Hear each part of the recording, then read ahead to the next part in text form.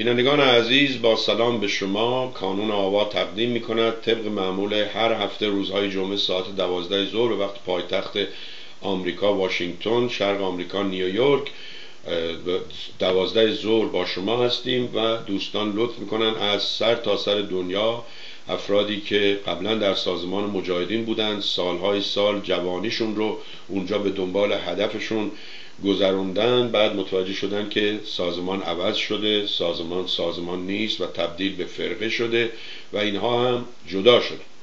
یکی از دوستانی که من حتی هفته قبل وقتی که راجع به اون فیلم و مصاحبه خانم مریم رجوی و اون قصر و کاخ و دفتر و آفیسشون رو نشون می‌داد اونو دیدم فوری یادم افتاد به این دوستمون آقای محمد رزاقی که برای اولین بار من از ایشون شنیدم که توی سازمان یا توی ارتش آزادی بخش به اینها می‌گفتن امروز جورابتون رو این پا فردا این جوراب و اون پا که نوک انگشتتون جوراب رو سوراخ نکنه. بعد شاهد بودیم که چه پولهای گذافی اینها می‌دادن به افراد بازنشسته افراد بدنام مخصوصا از آمریکا. این آقای معتاد کندی اون زنباز نیوت گینگریچ اون مافیا جولیانی و اینا رو می بردن و این بنده خداها که عمرشون و جوانیشون رو بدون هیچ چشم داشتی مثل یک سرباز تو پادگان شبانه روزی زندگی می‌کردن از اینا یه جوراب هم دریغ می‌کردن. من سلام می‌کنم خدمت ایشون چون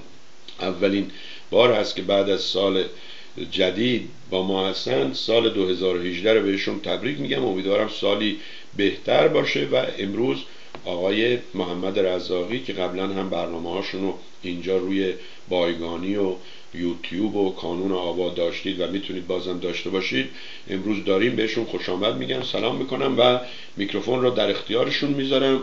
این شما و این هم آقای محمد رزاقی از پاریس سهند فریاد. بفرمایید.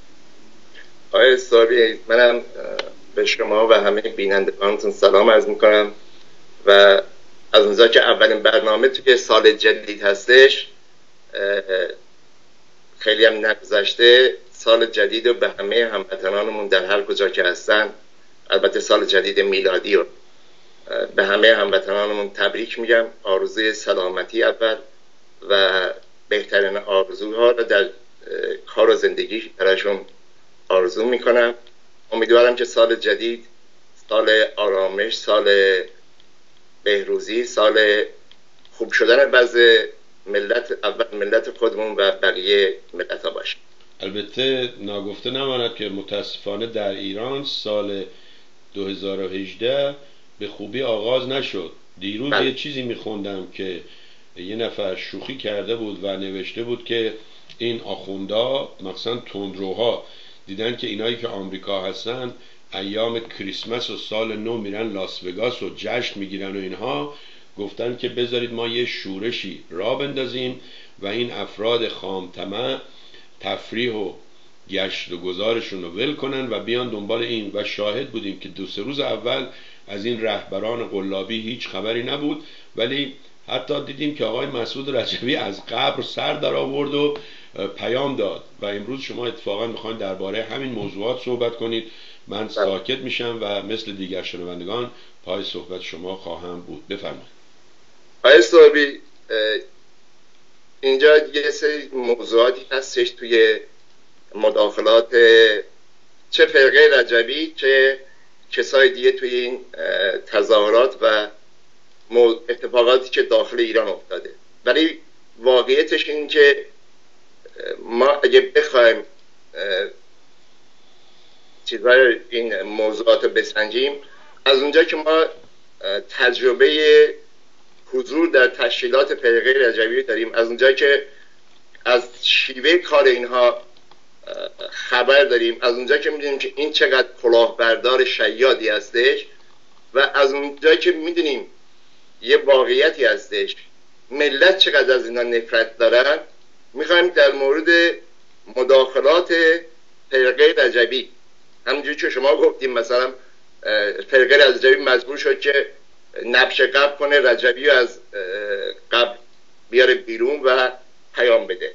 می‌خوام در مورد این صحبت کنم تو بخش اول که نتیجه مداخلات فرقه رجوی توی این اعتراضات و تظاهرات به حق مردم. ببین ما نمی‌خوایم همه چی رو یه سویه نگاه بکنیم. می‌خوایم عادلانه می‌خوایم با واقعیت می‌خوایم اون چه اتفاق افتاده رو بگیم. این که داخل ایران یه سری مشکلات هستش کسی منکر این نیستش. این که بیکاری هستش این که اختلاس هستش این که فساد هستش کسی منکر این نیستش. این که مشکلات معیشتی هستش کسی منکر این نیستش. تظاهراتی هم که روزهای اول و دوم توی ایران رخ داد تا هفته نشانگر همین بود. خواسته ها خواسته های به حقی که اشاره می‌کردن به وجود مشکلات بیکاری اشاره می‌کردن به اختلاس هایی که صورت گرفته که شعار می‌دادن اگه یه اختلاس کم بشه مشکل ما حل میشه. اشاره می‌کردن به اون کلاهبرداری هایی که با اون مؤسسات مالی کردن.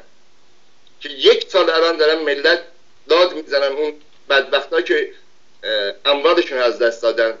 و متاسفانه یک راهکار به نتیجه برسه این ملت به پولشون برسن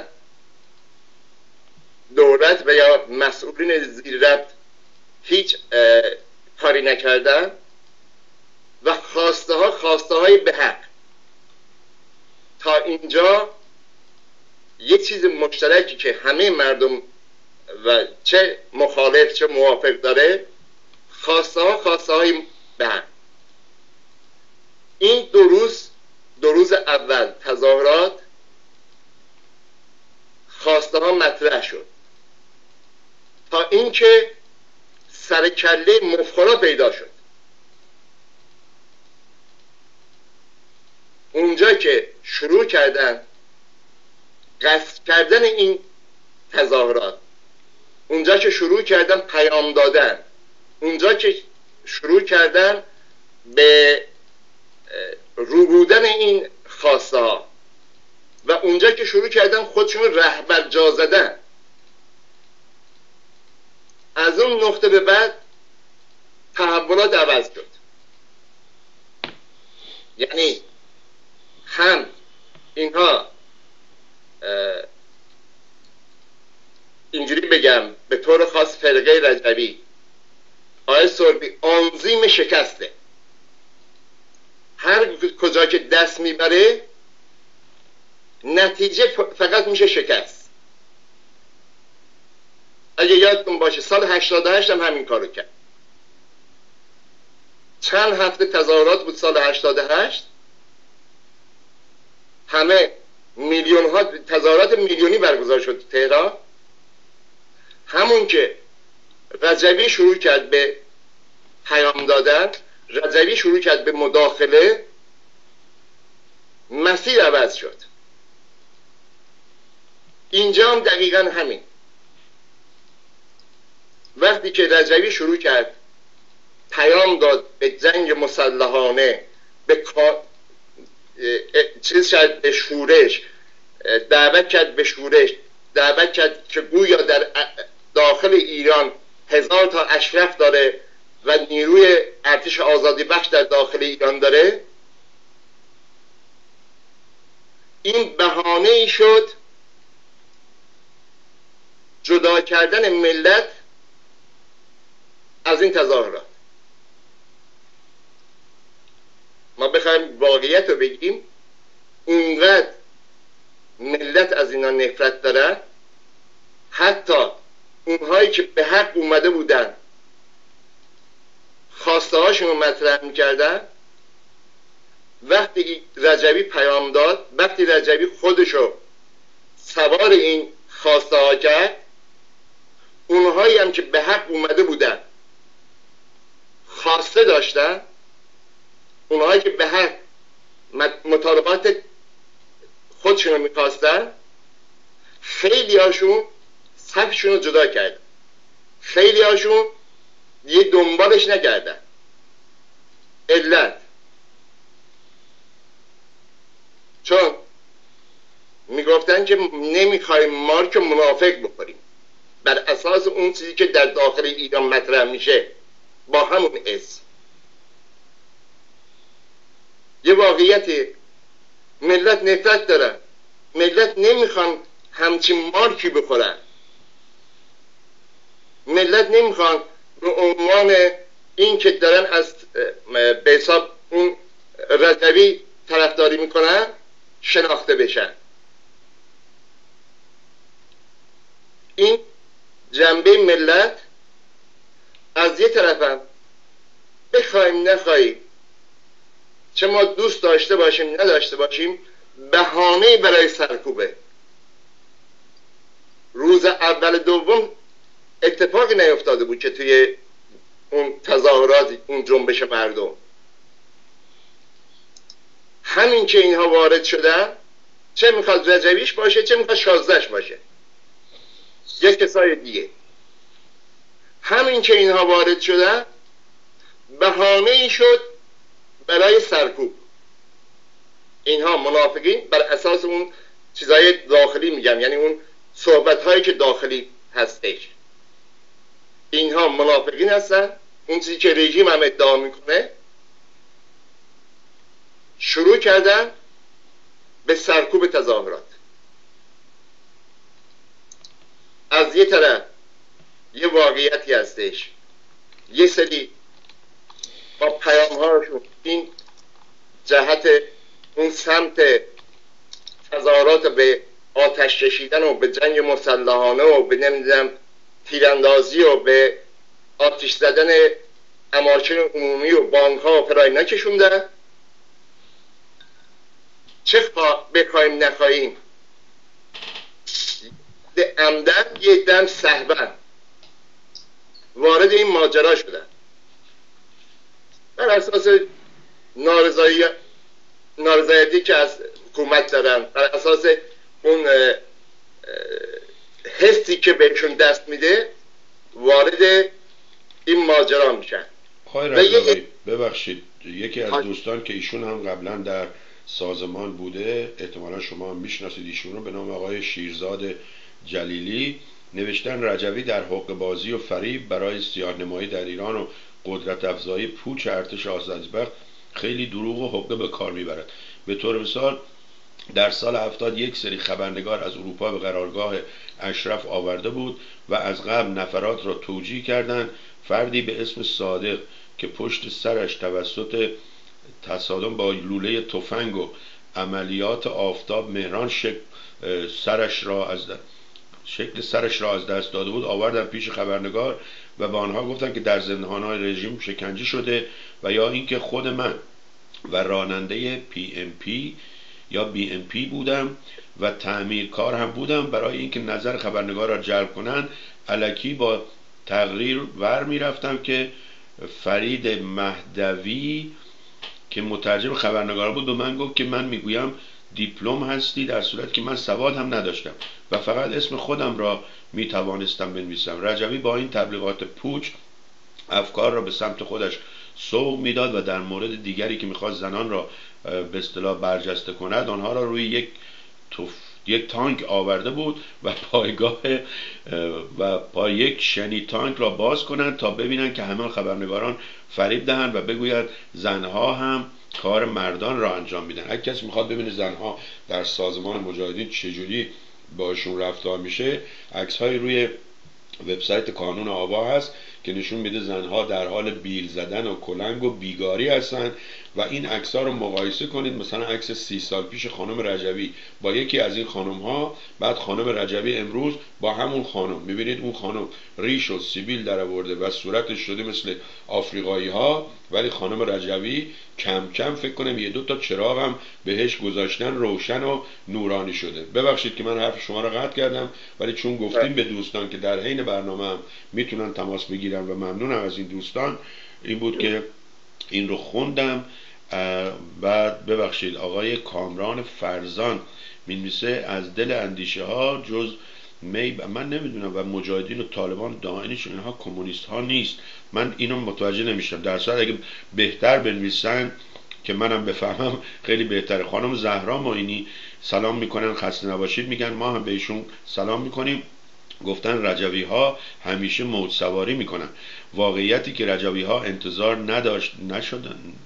منتظر نشدن. در این تظاهرات که مردم ایران به خوبی زدن توی دهان رجوی ها و به آنها فهماندن که در ایران هیچ جای نداره. این نکته رو خیلی جالبه. یه ویدیویی گویا سازمان حواسش نبوده و اون کنارش که به اصطلاح مردم نظر میدن این رو نشون داده و نشون میده که مردم چقدر به اینها توهین می‌کنن حمله می‌کنن.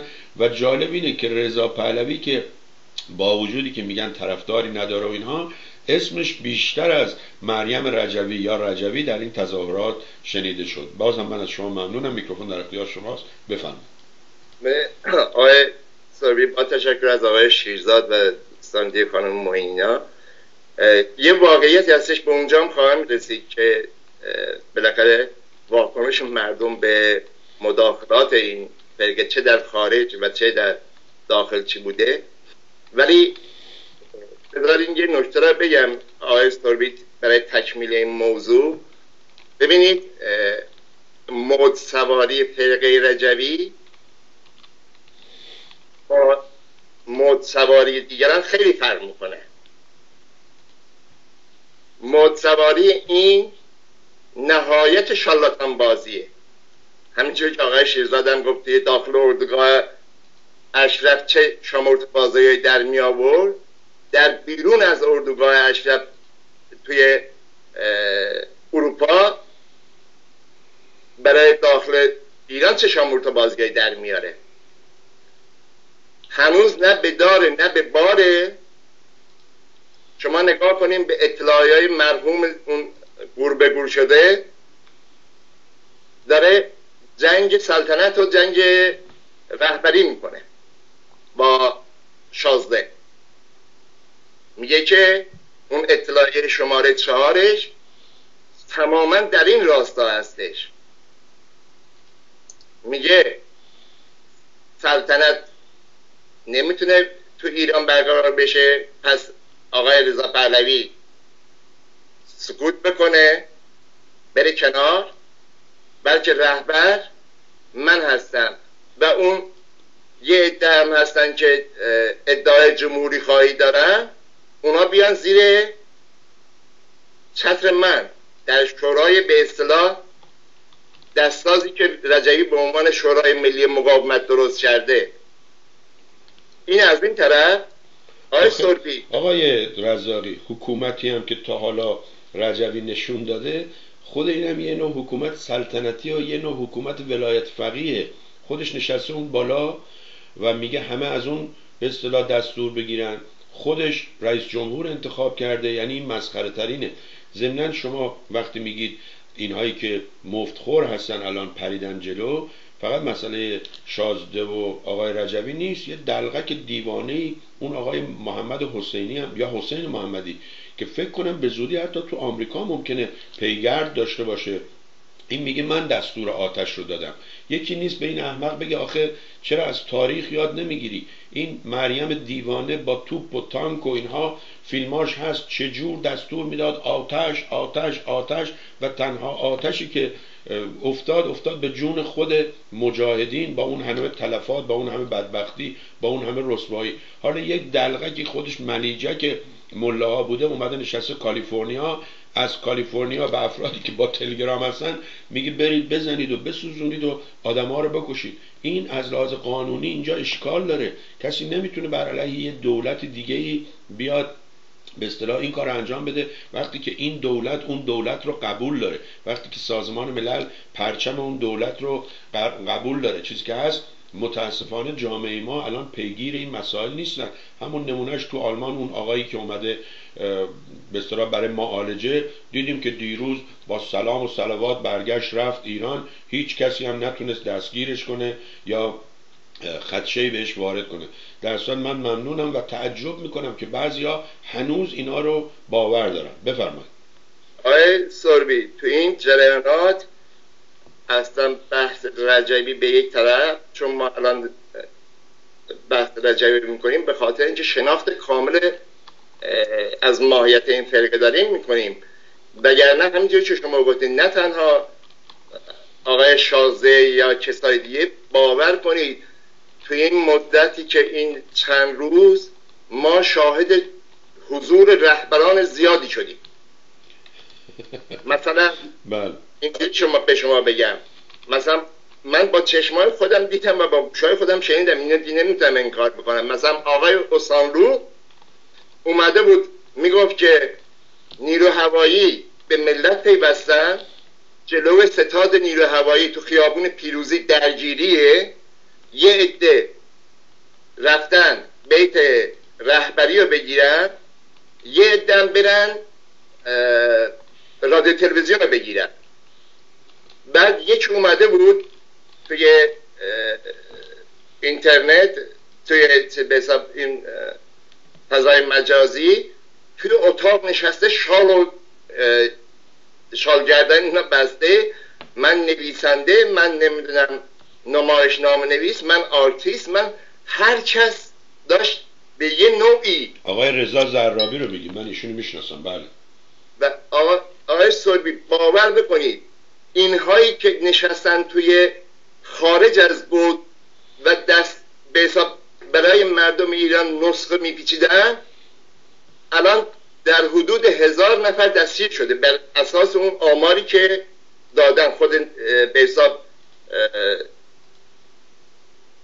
داخل ایران اون به حساب شهرهای مختلفی که آمار دادن حتی خود افراد رژیم اون مسئولین زیرت در حدود هزار نفر دستگیر شدن. اینها همونقدر که جمهوری اسلامی مقصره این آقایون هم مقصرن اگه انقلاب کردن اگه تظاهرات کردن اگه آتیش زدن مبارزه هستش اگه رنجیدن با سلاح مبارزه هستش اگه افتخار داره اینها چرا نشستن توی خونه هاشون؟ چرا نشستن توی اروپا؟ اگه شازده میگه که شرافت من در کنار شما هستم من درود میفرستم به شرافت شما چرا اینا به بی شرافتی تن دادن نشستن توی اروپا؟ اینا که می‌تونن همه جای دنیا سفر بکنن از لاس وگاس سر در بیارن از کانادا سر در بیارن خانم مریم قجایی که می‌تونه کشورهای اروپایی سفر بکنه؟ بره رود درازی بکنه توی مجلس اروپا؟ خب چرا بلند نمیشه بره ایران بگه من اومدم رهبر هستم رئیس جمهور هستم می‌خوام با شما همدرد در کنار شما باشم؟ چرا نشستن توی اروپا؟ توی آمریکا؟ ادعا می‌کنن ما در کنار شما هستیم ما همدرد شما هستیم ما همپای شما هستیم. شما بیخود می‌کنید همپای این ادعا رو می‌کنید کسی که ادعا می‌کنه انقلابی هسته کسی که ادعا می‌کنه مبارزه هسته کسی که ادعا می‌کنه همدرد مردم هستش باید داخل ایران باشه. از اون یارو پرسیدن اون حقا. آقا حقا قرار بود برید جمهور... تهران چرا نرفتی؟ گفت رژیم هنوز سرنگون نشده. اینها منتظرن که یه عده برن جون بدن یه عده برن زندانی بشن یه عده باتون بخورن یه عده گازش شاور بخورن یه عده زندانی بشن یه عده از جان و مالشون مایه بزنن خانم مریم قجر شازده نمی‌دونم اون اساندو یا هر نن قمری. بیا سوار خون ملت ایران بشه. آقای رزاقی این دوستمون آقای خوشنودی که همشهری من هم هستن میگه همشون هم میگن ما طرفدار میلیونی داریم. و هفته پیش وقتی که با خانم سلطانی ما مصاحبه می‌کردیم خانم سلطانی می‌خواست بگی که اینا دروغ میگن که طرفدار دارن. من گفتم خانم به اینا بگید که شما درست میگید. به قول شما آقای رزاقی اگه طرفدار دارید دیگه منتظر چی هستید؟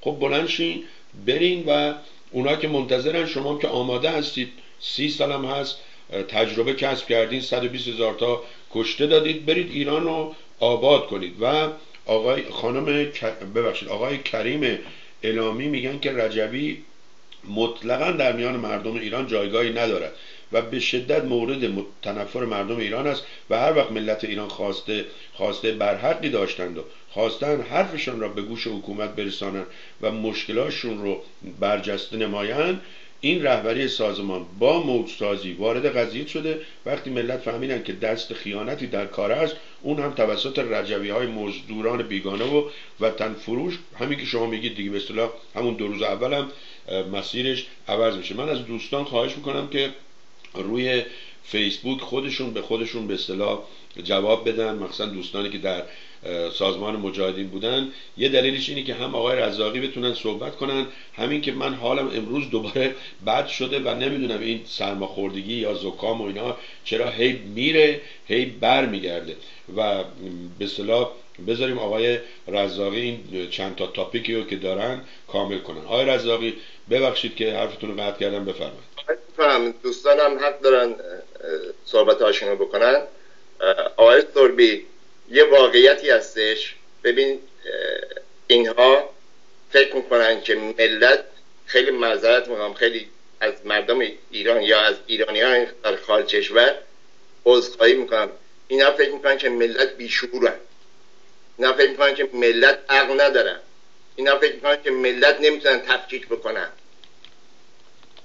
رجوی می‌تونه به یه عده به اندازه انگشتان دست پول بده.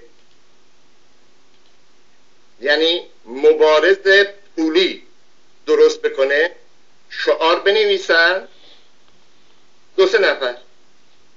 فیلم بگیرن اونم از کجا؟ از دیوارهای پستوخانه که خیلی مزرد محل رفع حاجت یه عده هستش.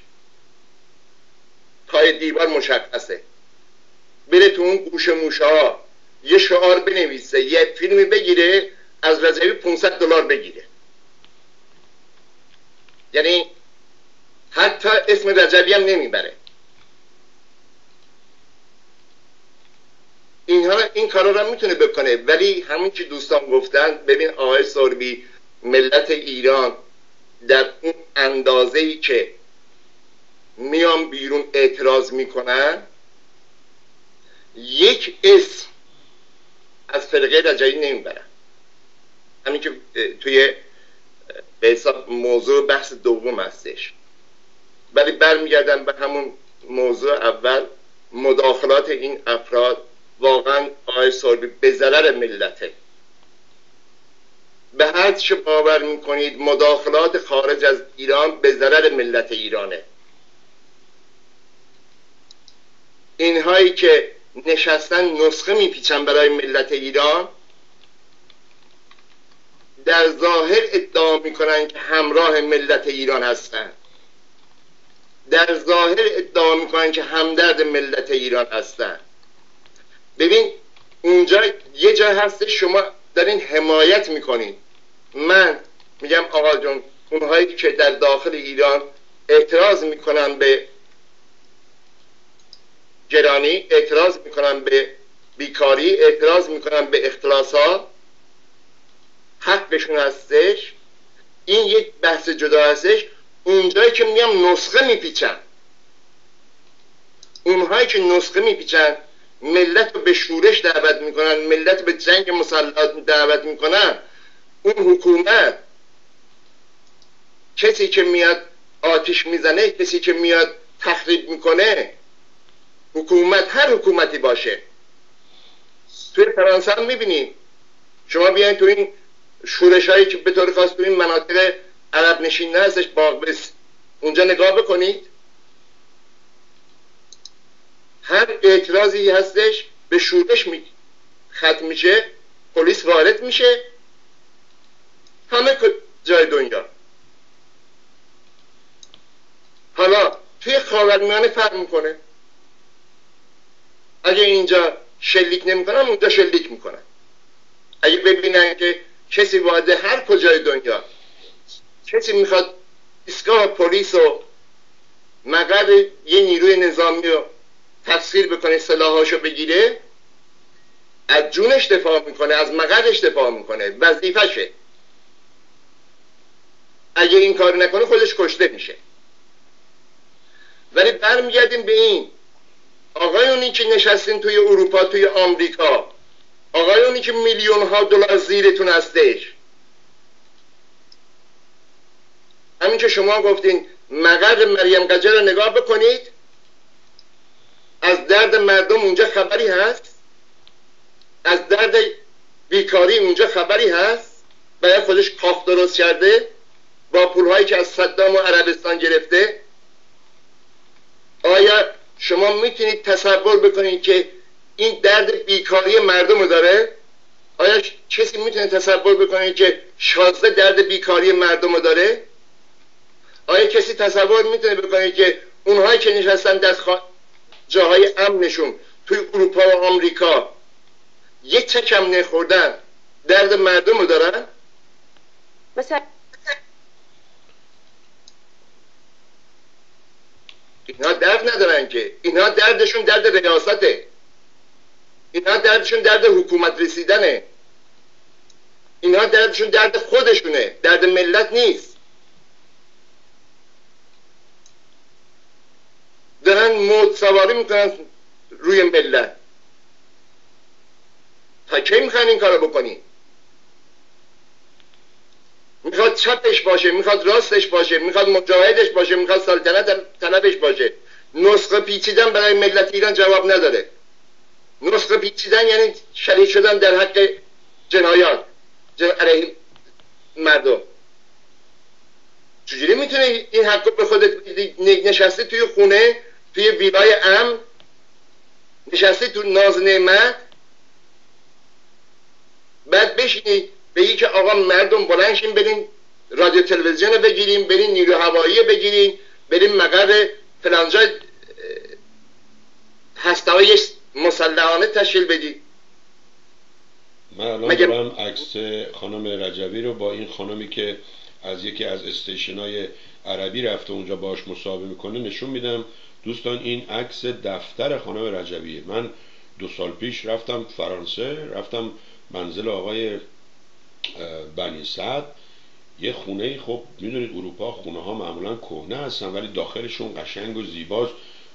داخلش خیلی ساده چند تا مبل خیلی ساده و اصلا از این خبرها نبود. اونم بنی صدری که سالهای سال قبل از انقلاب و اینها توی فرانسه بوده. اونجا خونه داشتن زندگی داشتن. حتی خانمش مصاحبه که می‌کنه میگه ما قبل از انقلاب بنی صد گفت که خونه رو بفروشیم بریم. من گفتم نه نگه میداریم. شاید مجبور شدیم برگردیم. اونا که تو اون شرایط بودن الان خونه ای ندارن. یه خونه شهرداری بهشون داده که اونجا توش اقامت کنن. ولی اینایی که دیر آمدن ببینید چگونه زود استا شدن با پولای صدام. این وقتی اتاق کارشه حالا دیگه اتاق زندگیش و کاخ به اصطلاح ریاست جمهوریش خود شما چشماتون ببندید و حدس بزنید که چی هست. بفرمایید. آقای سوربی بذار یه موضوع بریم. ببین هیچ کس به اندازه ما بها نداده برای مبارزه. ما زندگیمون رو دادیم. ما عمرمون رو دادیم. ما جوونیمون رو دادیم. به اسم مبارزه. بعد متوجه شدیم یه جایی رجبی کلاشترین آدم روی زمینه. به اسم مبارزه. تجارت می‌کنه به اسم مبارزه. خون اون خون اون کسایی که ریخته شده ادعا می‌کنه 120 هزار نفر. ادعا می‌کنه که نمی‌دونم در قرارگاه های مجاهدین ادعا می‌کنه که در اردوگاه های مجاهدین همین الان هم دو هزار نفر اسیرشن اینها دارن تجارت می‌کنن. هیچ کجای دنیا هیچ کجای دنیا شما همچین رهبرایی نمی‌تونی ببینی. که از خون ملت ایران از خون اعضای خودش برای خودش تجارت بکنه. اینا باید بس کنن این جنایت رو همونقدر که رژیم ایران در سرکوب دست داره محکومه اینها هم همینطور. چرا نمیرن داخل ایران؟ ادعا دارن مبارزن. ادعا می‌کنن شازده نشسته میگه که من در کنار ملت ایران هستم من همدرد ملت ایران هستم درود به شرفشون. آقا شما چرا بی شرفی می‌کنین در اروپا نشستین آمریکا نشستین؟ اگه مبارزه شرف داره برنشون برید آقای سربی خیلی جالبه. توی یکی از آموزش هایی که کلاس هایی که برای ما میذاشتن توی اردوگاه های بدنام رجبی می‌گفت که عمر چریک عمر مبارز عمر مجاهد شیش ماهه. اگر بیشتر از این زنده هستش داره از کیسه می‌خوره. یعنی رجبی و سران اون فرقه که ادعا می‌کنن ابریشمچی و عباس داوری و نمی‌دونم مهد برایی و خانم های شورای رهبری کلاس میذاشتن که عمر مجاهد شیش ماه عمر چریک شیش ماهه. خب اینا از توبره خوردن. چرا نمیرن بقیه عمرشون رو در داخل ایران مبارزه بکنن؟ خون اینا چه رنگیه که خون ملت ایران رنجش فرق می‌کنه؟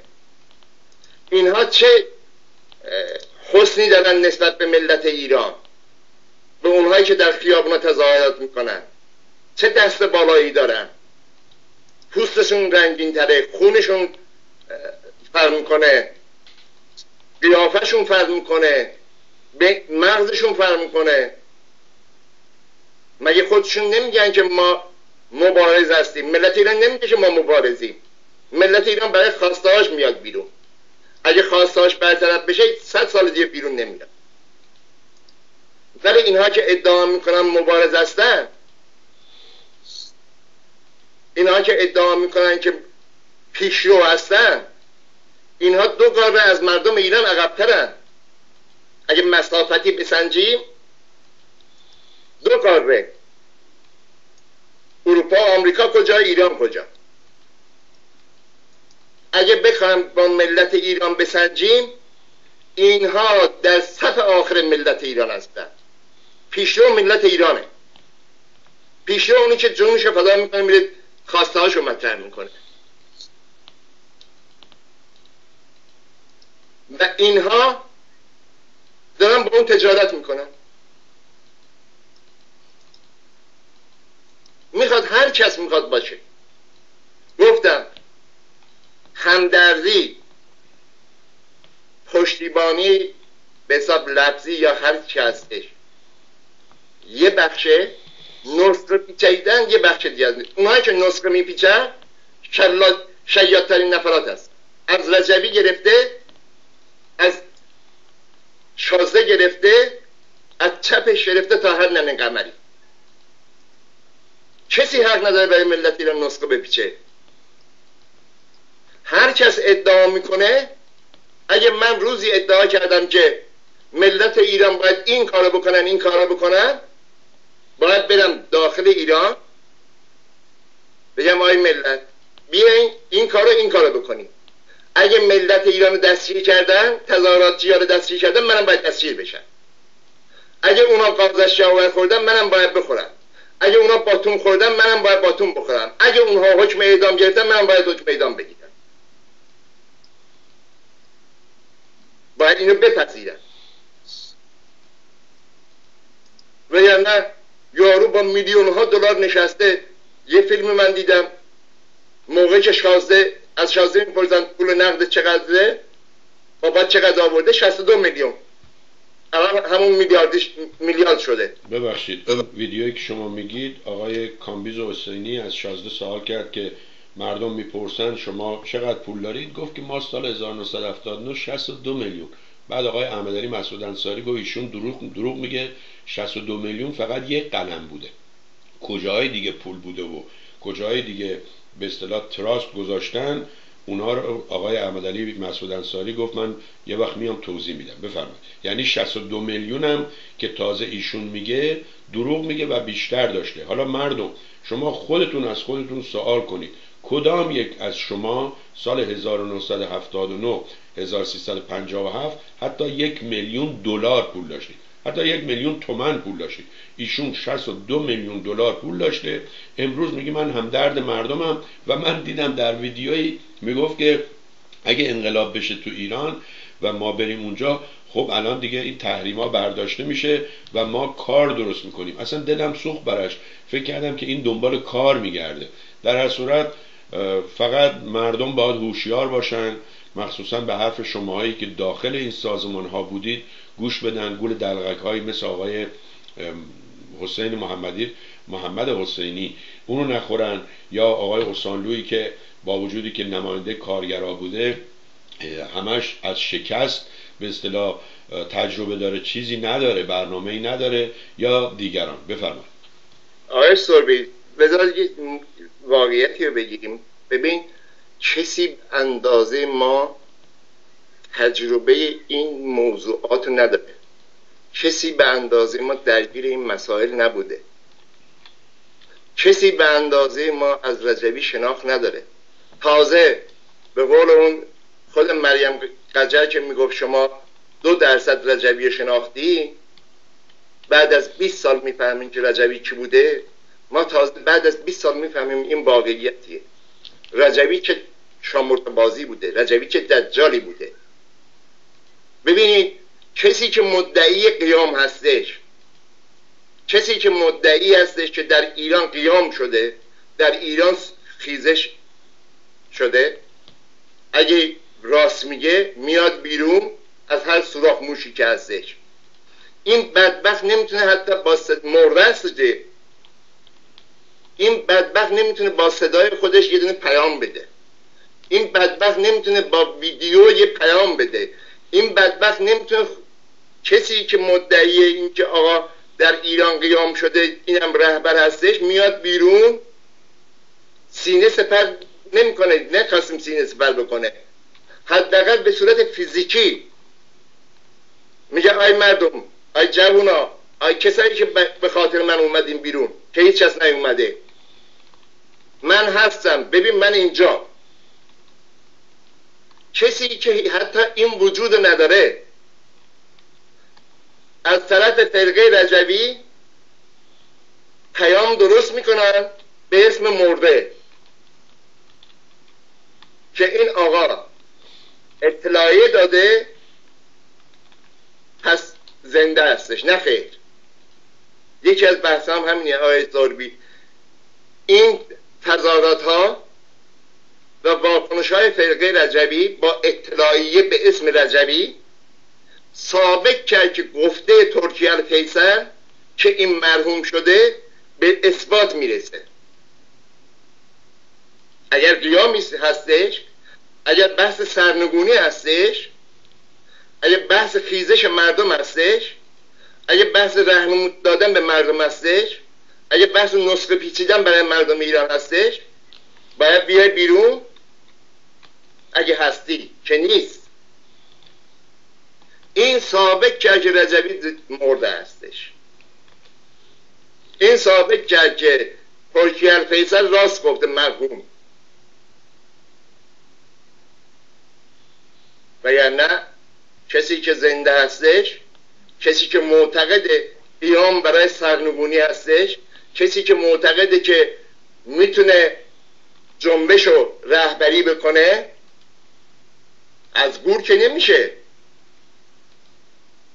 با دو تا اطلاعیه که یکی دیگه بخونه که نمیشه. ملت فرق اینا رو می‌دونن میاد بیرون. اگر حاضر اینا که هیچ وقت مورد پذیرش مردم نیستن. یه آقای سربی این بحث دوم رو می‌خوام شروع بکنم واکنش مردم. ببین توی اروپا توی آمریکا حتما شما هم توی دیدین اولین چیزی که روز اینا مداخله کردن ملت گفتن شما خفه شوید. یه عکسی هم از مریم گجر گذاشتن با مهر این که شما خفه شوید. تو خفه شو.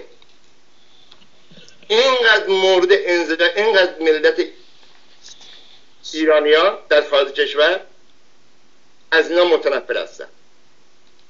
من اون روز دیدم رادیو آمریکا چند دقیقه از پیام مردم و مریم قجر رو توی تلویزیونش پخش کرده. 99 درصد رفتن بر علیه همین صحبت های مریم قجر پیام گذاشتن. نوت نوشتن. نظرهای خودشون نوشتن. اون یه درصد هم واقعا جیر خار رجبی بودن. از میشه گفت که از این به حساب کسایی هستن که تو تشکیلات خود رجبی هستن. و نه بقیه نفرت دارن از این. آقای سوربی این دیگه می‌خوام واقعی صحبت کنیم در مورد مردم ایران. اونهایی که حتی به عنوان تماشاچی می اومدن تو این تظاهرات نگاه می‌کردن تا میشنیدن که اینها طرفدار منافقین هستن میذاشتن می‌رفتن. چون کسی نمی‌خواد خودش آلوده این اسم بکنه. بدنامن توی ایران. شما نگاه بکنید. از هفت دی تا پونزدهم تقریبا یه هفته در ایران اون قیام که رجبی مدعی برای سرنگونیه مدعی رهبری هستش یک نفر حتی شده یک نفر. عکس مریم قجر و عکس رجبی رو بلند نکرد. یک نفر حاضر نشد اسم رجبی رو ببره. یک نفر حاضر نشد از به قول معروف رضا یاد کردن؟ یه واقعیتیه. رضا شاه روح شاد چند نفر شعار دادن در چند جا؟ از مریم قجر اسم نبردن آقای رزاقی راجع به اینکه میگید که مردم تا می‌فهمن این تظاهرات به وسیله مجاهدین برگزار شده خودشون رو از اون محل دور می‌کنن اینا اینجا هم می‌دونن. اتفاقا هفته پیش صحبت من با آقای تورشیزی و اون آقای حسین پناه و دیگرانی که تبلیغ می‌کردن و به دروغ یک سازمان دیگه ای رو درست کردن به نام جامعه ایرانی آمریکایی ها و من به مردم هشدار دادم. گفتم اینا یه بار دیگه هم این کار کردن. سالها پیش وقتی که به عنوان تظاهرات حقوق بشر مردم جمع شدن یه دفعه دیدن که اون جلو ماشینی اومد و عکس خانم رجبی و مریم رجب آقای رجبی و اینا. و مردم از اون زمان دیگه اطمینان به اینا چیز نمی‌کنن. و اگر دوستان برید ویدیوهای هفته پیش رو نگاه کنید اینا هیچ وقت دوربین یا ویدیو رو نگرفتن که از جمعیت به صورت کل فیلم برداری کنن. از داخل جلوشون چهار پنج نفر این چهار پنج نفر هم میان با پرچم و با لباسای زرد می‌دونید رنگ روشن خودش رو درشتر نشون میده. بعد دست هر پیرمرد و پیرزنی دو تا پرچم دو تا عکس بزرگ و برید نگاه کنید. در صورت اینها اینجا اعتباری ندارن. در لس آنجلس تظاهرات بزرگی انجام شد. اونجا مردم گفتودن ما منتظر مجاهدین هستیم که اگه بیان تیکی تیکشون کنیم. به همین خاطر سی چل نفر مجاهدین شبانه از لس آنجلس آمده بودن واشنگتن که اینجا چون مردم یه مقدار لیبرالتر هستن و طرفداران پادشاهی کمتر هستن اینا بتونن اینجا خودی نشون بدن که اون هم نشد و مردم دست اینها رو خونده بودن که این سازمان جامعه ایرانی آمریکایی همون شورای ملی مقاومت یا همون مجاهدینه و دروغی بیش نیست. و بدتر از همه این بود که فرداش آقای ترشیزی نوشت که بله دیروز تظاهراتی انجام شد با شرکت جامعه ایرانی ها مجاهدین گفتن ای آقا تو که تا دیروز نمی‌دونستی اینا مجاهدن. چی شد؟ رفتی اونجا آگاه شدی. در صورت کارشون خیلی خرابه. بفرمایید. آقای داخل ایران که ملت به دعوت اینا نمیان بیرون. این چیزی که بهانه میده بر سرکوب تظاهرات. آنزیم شکست آنزیم سرکوبه. رژیم ایران هم از این استفاده می‌کنه. کسی که یک نفر دو نفر تو پیاده رو از نفرات رژیم وامیسته میگه اه اه اینا منافقین انا. همین که اسم منافقین چون توی داخل ایران که به اسم مجاهد نمی‌شناسن که. شما برید بپرسید دهه پنجاه شستی ها شاید به اسم مجاهد بشناسن. از اون به بعد اون فرهنگ داخل ایران میگه منافق. دو نفر سه نفر از افراد رژیم وایستن توی پیاده رو میگن اینها منافقین هستن تماشاچی هم با نمیسته اینا رو نگاه کنه. و این بهانه هست برای سرکوب. بهترین بهانه. الان نگاه بکنی. آیا اون خواسته هایی که روزهای اول دوم مطرح شده آیا مطرح شد؟ نه ملاخور شد رفت. به چه خاطر؟ به خاطر دخالت های اینا. به چه خاطر؟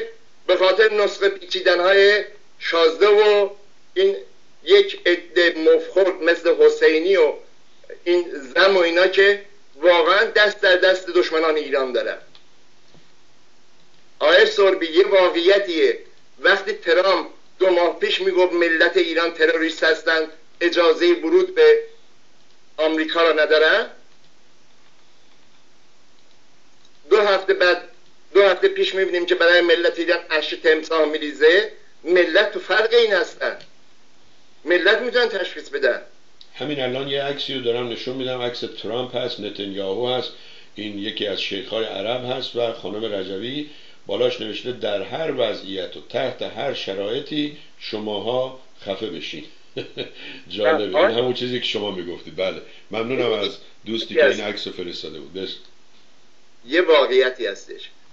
اگر ملت ایران خواسته های به حقی دارن که به حقه ولی وقتی اقصارشو ترامپ و نتانیاهو و محمد بن سلمان بگیره دستش وقتی رجوی بگیره دستش باور بکنید اگه تظاهرات میلیونی هم بشه اگه ملت ایران صد درصد هم به حق باشن که هستن ولی محکوم به شکسته. چون ببینید نمی‌خوان آلوده بشن به این اسم. متنفرم ملت ایران. همون که همونقدر که می‌بینید توی خارج کشور از اینا نفرت دارن توی ایران ضریب می‌خوره. چون نمی‌خوام برن توی زندان برن توی بازجویی بیاد. ثابت بکنن که اینها با رجوی هیچ ارتباطی ندارن. یکی از دوستان از کانون آوا نوشته حتی هواداران هواداران هم زیر پیام های مریم و مسعود کامنت نمی‌ذارن. از شرمساری. یک واقعیتی آقای رجوی آقای سربی. رجوی کاری کرده؟ ببین ما که 20 سال عمرمون رو تو این پایین دادیم جلو ملت ایران جلوی ایرانی ها نمی‌تونیم بگیم که کجا بودیم. بابا ایرانی نفرت دارن. در داخل ایران کسی نمی‌تونه ادعا بکنه که طرفدار رجویه و واقعا هم نیستش. اگر سه چهار تا شعار نویس هستش به خدا پولیه. من یاد این چیز افتادم. یه خانمی بود توی ایران. مادر یکی از این اعضای فرقه بود. اینو گرفتن اومده بود ملاقات. اینو گرفتن با پول. محتاج پول بود. چون شوهرش معتاد بود.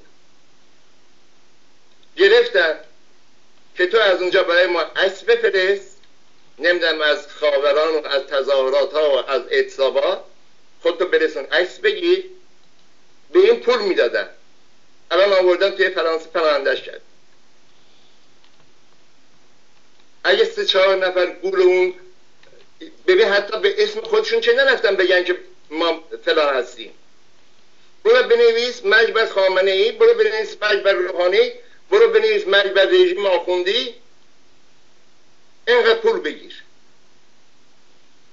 اگه اون طرفی که میده شعار می نویسه بفهمه که طرف حسابش رجبی هستش باور کن این کار نمی‌کنه. اینجا خودشونو کشتن با اسامی ها همین که شما میگین تو آمریکا با اسامی مختلف میدن اینجا هم توی فضای مجازی با اسامی مختلف میدن ارتباط برقرار می‌کنن با افراد داخل ایران. خبرنگار رو نمی‌دونن به حساب فعال حقوق بشر رو نمی‌دونم این یارو اسمش چیه؟ فعال مدنی و فلان اینا. اینها نمی‌تونن علنا بگن که ما چی هستیم. چون اون نفر تقریبا فکر کنم بین 1200 تا 2000 تا وبسایت و فیسبوک مختلف با اسمهای مختلف درست کردن و مردم واقعا باید مواظب باشن که این سازمان ها که به اسمهای مختلف میان ببینید اصلش از کجا سرچشمه گرفته و پشت این سازمان ها چه سازمانی هست. آیا شما با اونها موافق هستید یا نیستید؟ در صورت از شما ممنونم. چند دقیقه بیشتر وقت نداریم و منتظر آقای منصور نظری هستیم. متاسفانه گفتن که ایشون با اینترنت و اینها مشکل داره. حالا تلاش اونو می‌کنیم. اگه تونستیم تماس می‌گیریم. اگه نه یه فیلمی رو دوستان فرستادن اونجا پخش می‌کنیم و در فیسبوک هم می‌ذاریم. من با ساکت میشم آقای رزاقی شما اگه صحبتی دارید بفرمایید. آقای سالبی من دو سه دقیقه بیشتر وقت ندارم فقط می‌خوام اینو بگم که ببینید ملت ایران پذیرش این همه شیادی این همه کلاهبرداری این همه سوء استفاده ندارن. اجازه هم نخواهند داد. به همین خاطر اونهایی که میان توی اروپا و آمریکا نشسته برای ملت ایران نسخه میپیچن باید اینو خوب بدونن. همونقدر که رژیم رژیم ایران از نظر شما محکومه دستگیر می‌کنه شکنجه می‌کنه نمی‌دونم اینها را با توم می‌زنه و گاز اشکاور می‌زنه و اون چیزایی که ادعا میشه شما هم توش سعیم هستید این افراد توش سعیمه الان هزار نفر به قول معروف دستگیر شده. اونهایی که تو اروپا نشستن باید جواب بدن که چرا این ملت رو فرستادن جلو خودشون نشستن توی جای گرم نه. و اینم بگم آقای سربی برای آخرین چیز رجوی باید بدونه. مریم قجر باید بدونه اینها به هر اسمی بخوان در تظاهرات در گیام ها در خواسته های مردم در آینده هم همین کارو بکنن باعث شکست اون تظاهرات باعث شکست اون مطالبات خواهد شد. دست بکشن از این شامورت بازی ها و اجازه بدن واقعا مردم ایران اون که می‌خوان در مطالباتشون هستش به مینیموم هاش برسن. نه ما در یک دور باطل همین اتفاقات در آینده هم خواهد افتاد با مداخلات اینها به هیچ جایی نخواهد رسید. جز اینکه مردم ایران یه عده دستگیر بشن یه عده خانواده ها بدبخت بشن هیچ منفعتی اینها ندارن. چه می‌خواد رجویش باشه چه می‌خواد شازدهش باشه. چه می‌خواد چپش باشه چه می‌خواد جمهوری خواهش باشه. نسخه پیچیدن رو جمع بکنن هر کس مدعی مبارزه هستش من الان دعوت می‌کنم. مریم قجر نمیگه که ملت ایران ملت نمیگه که خیزش.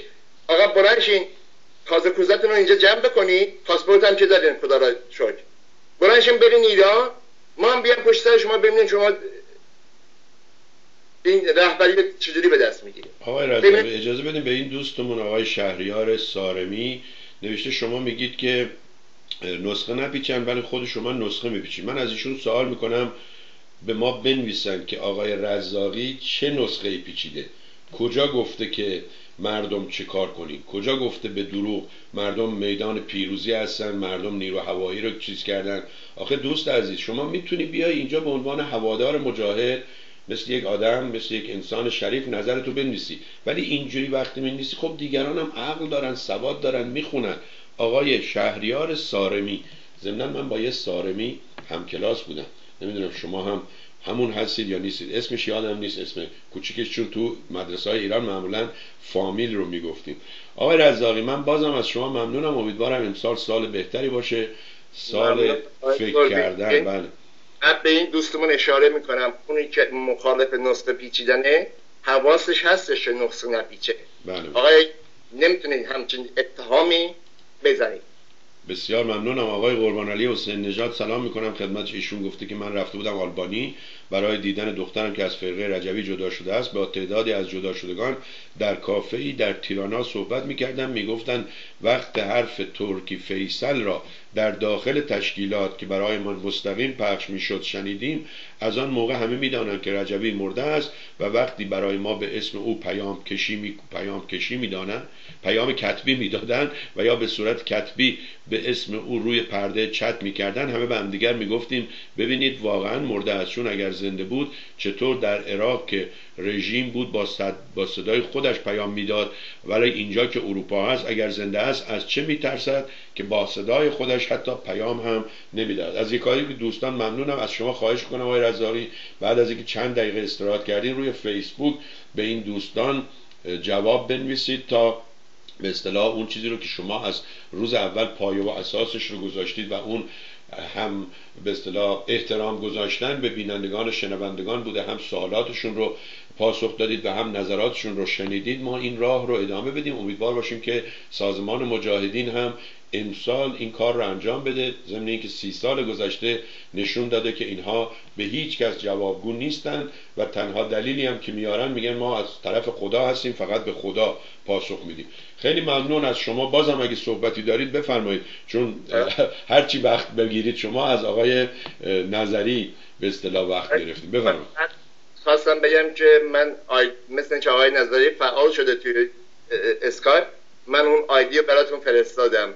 بسیار بله. اگه بکنید شما اینا تماس برقرار کنیم ممنون میشم. حتما. من از شما خداحافظی می‌کنم. برای شما سال خوبی روزهای خوبی آرزو می‌کنم و یا من با آقای نظری تماس می‌گیرم یا ایشون با من تماس می‌گیرم باز هم ممنونم که با ما بودید. من از شما تشکر می‌کنم. از همه بینندگان از اونایی که نظر مخالف داشتن تشکر می‌کنم. از اونایی که موافقم بودن باز تشکر می‌کنم. ما به حساب اون ظرفیت داریم که بتونیم تو یک موضوع بحث آزاد داشته باشیم جوابگو باشیم. اگه اشتباه کردیم میگیم معذرت می‌خوام. اگه اشتباه نکردیم یه حرفمون همین هست که نظرمون هست. بسیار ممنونم. معذرت خواستن و گفتن حقایق سالهای گذشته شهامت و شجاعت می‌خواد که شماها به درستی این رو نشون دادید. خیلی ممنون از شما. به امید دیدارتون در برنامه آینده. خدا نگهدار. دوستان عزیز با آقای محمد رزاقی بودیم از پاریس. از ایشون خداحافظی می‌کنیم و باز هم در پاریس میمونیم تا آقای نظری بیان و با ما باشن. ایشون اول یه اسم دیگه ای فرستاده بودن بعد حالا گفتن که یک اسم دیگه ای این ماجرای اسکایپ هم بعض وقتا وقتی یادمون میره بهتر اینه که بهشون بگیم اسم بهشون بگیم یادمون رفته با ایمیل برامون بفرستن. چون اگر هر دفعه هی اسم جدید درست کنیم مشکلات بیشتر و بیشتر میشه. آقای نظری اگه صدای منو میشنوید با من تماس بگیرید. ولی تا تماسمون برقرار شد تمام وسایلی که از اینترنت استفاده می‌کنن مثل همین فیسبوک مخصوصا اینایی که ویدیویی هستن اینها را قطع کنید تا ارتباط بهتری داشته باشید. پس اجازه بدید من از این طرف اسم آقای نظری رو بله آقای نظری برای شما اد فرستاد. ریسنت اجازه بدید. متاسفانه من چیزی اینجا نمی‌بینم. اگر به اسم سوربی فرستادن به دست من نمی‌رسه باید به همین آدرس مردم تیوی که آقای بذارید من از این ور با ایشون تماس می‌گیرم. بله اجازه بدید. آقای منصور نظری. باید ببینیم که نظر ایشون چی هست. سرچینگ وای تنها می‌تونم بگم چهل تا با این اسم هست ولی یکی اون بالا قرار گرفت که عکس برج ایفل هم هست. بذارید ببینیم ایشون هست. اگر ایشون هست که با هم تماسی داشته باشیم. اینه که من به دوستان میگم که شما از اون ور تماس بگیرید چون مردم تیوی هم اسمش معلومه هم یکی هست یا حالا اگه باشه هم دو سه تاست. بعد عکس منو می‌بینید. ببینم این آقای منصور نظری ایشون هستن یا و ای کاش دوستان عکس خودشون رو بذارن چون وقتی اسما مشابهه بعد آدم نگاه می‌کنه اونی رو که بله خودشون هستن.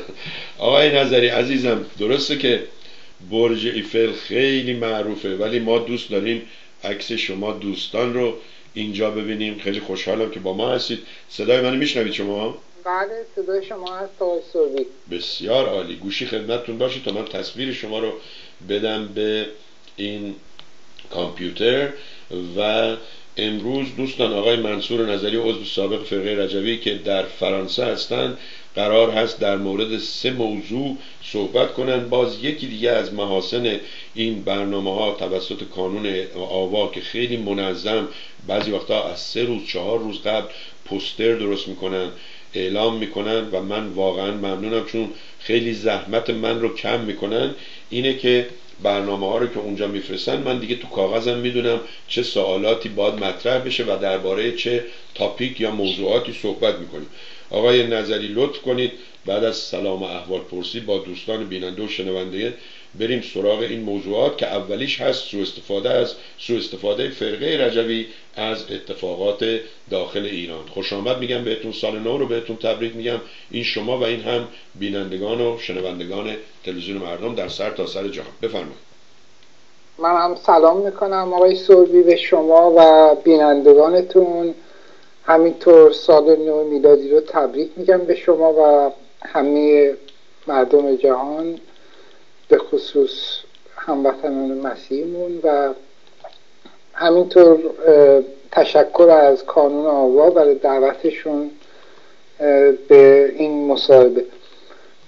اگر شما نکته ای ندارید من موضوعاتی که مشخص شده رو صحبت کنم. بسیار عالی. لطف کنید از همون اول با این تاپیک سو استفاده فرقه رجوی از اتفاقات داخل ایران. منظورم این تظاهرات هفته گذشته. بله. بفرم.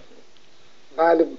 واقعیت اینه که خب جامعه ایران جامعه متحولی مردم ایران همیشه دنبال تغییر بودن مثل همه جای دنیا. مردم مثل مردم دیگه می‌خوان تغییر توی جامعه ایجاد بشه. خلاصه این وضعیتی که توی جامعه ایران پیش اومده خب قطعا یه چیز طبیعیه و دور از انتظار نیستش. یعنی چیزی که مردم همیشه هر چند سال یک بار بالاخره دنبال این تغییرات هستن مخصوصا تو ایران که خب به دلیل فسادایی که توی چیزهای مختلف پیش اومده توی چیزهای دولتی بانکی دیگه مردم آسیب دیدم به این لحاظا خب سر به شورش برداشتم و دنبال خواسته هاشون از طریق سرآمیز بودم. همینطور که آقای رزاقی هم گفت خب مردم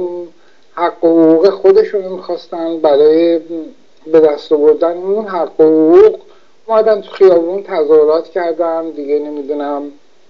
از شیوه های مختلف الان ماها بود. سر سپرده های بانکیشون معترض بودن. خلاصه می اومدن خیابون می‌رفتن تا اینکه این داستان یک کمی اوج گرفت و یه سری شارلاتان از بیرون از ایران شروع کردن به انگولک کردن این جامعه و خلاصه تجارت کردن با خون مردم با اون چیزی که مردم می‌خوان همینطور که آقای رزاقی هم قبلش گفت اینا تاجرای شالاتانی هستن که منتظرن ببینن تو جامعه چی میگذره و بتونن سوء استفاده خودشون رو از این شرایط بکنن. مثلا همین فرقه رجوی مثلا خب تو ایران اینا کسی رو ندارن. اینا سالهاست از جامعه ایران دور شدن و دیگه جامعه ایران مخصوصا قشر جوون اینا رو اصلا نمی‌شناسه. اونایی هم که می‌شناسن مال دهه سالهای پنجاه چهل دیگه اینا هستن. اونایی که خب هم سن سال ما و شما یا تو این سن سال هستن اینا رو می‌شناسن. بعد کسی اون جوونا اینا رو نمی‌شناسن. اینا کی هستن چی هستن؟ اینا خب همونطوری که قبلش هم صحبت شد آقای رزاقی هم توضیح دادن. اینا اساسا الان با اسم خودشون وارد نمیشن توی مثلا دنیای مجازی چون تو دنیای واقعیت که وجود ندارن. مثلا به اسمای مختلف میان میگن گرونی فلان یعنی میان سوار موج اعتراضات مردم میشن. بعد وقتی که داستان اوج می‌گیره میان خط خطوط خودشون رو پیش ببرن مثلا مسعود رجوی خب شروع می‌کنه به پیام دادن. کسی که 15 سال بود اصلا وجود خارجی نداشت. اصلا مسعود رجوی خب ببخشید این صدای شما اینجا دوباره پیچید چون صفحه باز شد. عوض می‌خوام ازتون بفرمایید. مثلا همین مسعود رجوی خب سالها بود نبود. الان یه دفعه مثلا می‌بینیم سرکلش پیدا شده. این آقا همون کسی که همین چند وقت پیش توکی فیصل گفت این آقا مرده تموم شده. حتی اگر این توکی فیصل هم نمی‌گفت این مرده و تموم شده رجوی واقعا مرده و تموم شده. حتی حتی به لحاظ فیزیکی من به نظرم مهم نیست به لحاظ فیزیکی اصلا این زنده است یا مرده به طور واقعی این نیست. مرده یعنی نمی‌تونه دیگه سر بالا کنه. چون پروسه ای سازمان مجاهدین به دست مسعود رجبی پیچیده شده. از اون موقع هم تا حالا هم همیشه زیر دست این بوده و این بوده که سازمان اینجوری به قهقرا کشوندش. در نتیجه مسعود رجبی هیچ وقت من مطمئنم هیچ وقت دیگه ظهور نمی‌کنه. اگر الان چیزی هم هست فقط یه نوشته یک حالا ممکنه توی ورسوواز نوشتنش یا مثلا یا از جای دیگه مثلا دیکته شده براشون. ولی کلا این فرد دیگه نیست. اگر هم هر چی هست این بقول معروف این فرقه رجویه که با داد و ستت با یه سری از کشورهایی که دنبال سوء استفاده از این موقعیت هستن میان این کارا رو می‌کنن مثلا خب عربستان که خب دوست ما نیست به طور واقعی. سال هاست از اون ابتدا هم عربستان همیشه دشمن ما بوده. یا آمریکا مثلا. همیشه با کشور ما در جنگ بوده چه در زمان شاه چه در زمان حاضر. همیشه دشمن ما بوده. همین خود فرقه رجوی بعد از اینکه انقلاب ایران پیروز شد همیشه شعار می‌داد که بعد آمریکایی ها را از بین برد. حتی وقتی سفارت آمریکا رو گرفتن تو تهران اینا خواستار مجازات اینا بودن و همینطور اون نفرات ارتش شاه رو اینا مصرانه می‌گفتن بعد اینا رو به شدیدترین وجه مجازات کرد. یعنی همین فرقه رجبی. بعد از خب پروسه سی خورداد اینا خب خیلی اتفاق افتاد که بعد من حالا بهش می‌رسم. ولی برگردم سر اصل موضوع که الان بحث سوء استفاده اینا از این شرایطی که خب مردم توش هستن می‌خوان حقوق خودشون چه به سیاسی چه به اجتماعی اقتصادی برسن. اینا میان چیکار می‌کنن؟ میان جامعه رو همونطوری که مستر عربی تو سال شهست تو سی خورداد شهست با تصمیم سی خوردادش جامعه رو کشون به مرحله خونین به جایی که خب به جنگ مسلحانه کشون و خب جنگ مسلحانه هم معنی و مفهومش اینه که خب یه تعدادی کشته میشن یه تعدادی میرن زندان همونطوری که این اتفاقات افتاد. اونا دنبال این هم حتی تو این پیامی که منتصب به مسعود رجوی هست خودش میگه که میگه که الان مشکل ما چپروی نیست. یعنی اصلا مشکلی نیست که مثلا برن مثلا کوکتل بردارن بزنن مثلا بانک آتیش بزنن یا مثلا برن کارهای دیگه بکنن بزنن بکشن. اصلا خودش رهنمود میده که به این سمت مردم رو بکشونه. و اینطوری خب اینا علتش من خودم اونجوری که از تجربه که از این دستگاه دارم اینه که اینا چون دیگه اصلا شرایط هیچگاه دیگه نمی‌تونه به نفع اینا باشه مگر در یک حالت. فقط در یک حالتی که اینا می‌تونن بیان و سوار موج بشن. اونم جایی که جامعه ملتهب بشه و به اختشاش و خشونت کشیده بشه. من خودم مثلا حدسم این بوده و هست. فرقه رجبی همیشه دنبال این بوده که جامعه ایران رو تو این سالهای اخیر بعد از این چیز عربی که پیش اومد تو کشورهای مختلف مثلا تونس نمی‌دونم. بهار عربی.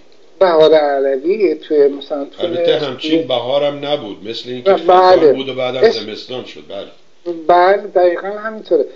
مثلا همین تونس لیبی دیگه نمی‌دونم بعدش هم رسید به سوریه. ببینیم الان سوریه چه وضعیتی داره؟ کشوری که نزدیک به 500 هزار نفر کشته شدن. دیگه نمی‌دونم نزدیک ده میلیون آوارن. کشوری که دیگه ساختمون سالم توش وجود نداره.